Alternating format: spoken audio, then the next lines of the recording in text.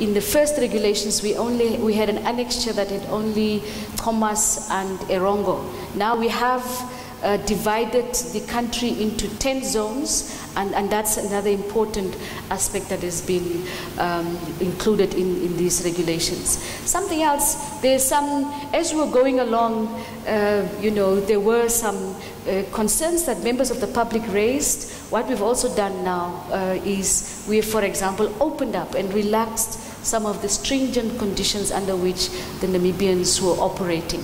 So, for example, and I think for, for us an important uh, amendment is the fact that we opened up the, the space for informal trading and, and open markets. And I think that's, that's an important uh, change for us. So what we've done is we've listed what are essential goods, uh, which includes foodstuffs and so forth. You would have seen that in our annexure.